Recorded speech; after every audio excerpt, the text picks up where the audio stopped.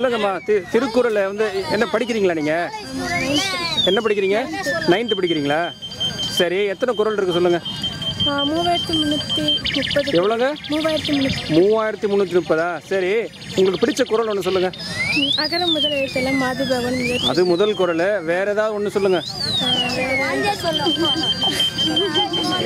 ஏதாவது ஆ, செல்வத்தில் செல்வம் செவிச்செல்வம் செல்வம் செல்வத்தில் எல்லாம். அதுக்கு என்ன மீனிங் தெரியுமா? பொருள் தெரியுமா? என்ன பொருள் சொல்லுங்கள் ஆ, செல்வங்கள் எல்லாத்தையும் விட காது காதில் இருக்க அந்த காது கேட்கிற செல்வம் காது வழியாக கேட்கக்கூடிய அறிவாற்றல். அதுதான் நமக்கு சிறப்பு சிறந்த செல்வம். சரிங்க. சிறப்பு. உங்களுக்கு யாருக்கா தெரியுமா? இந்த பாப்பா தம்பி வா. தம்பி வாம்மா. சொல்லு பாப்போம். என்ன எத்தனை வகுப்பு படிக்கிறப்ப? செவன்த்து படிக்கிற. சரி உனக்கு எத்தனை குறள் இருக்கு தெரியுமா? சொல்லுமா. அருமை. சரி. அதில் உனக்கு பிடிச்ச குறள் என்ன?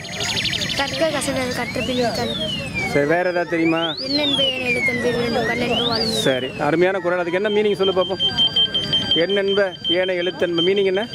என்னென்பு ஆ. எண்ணும் எழுத்தும் என்ன பொருள்? தெரியாதா? என்ன பொருள் தெரியாது. சரி சரி. வாழ்த்துக்கள்.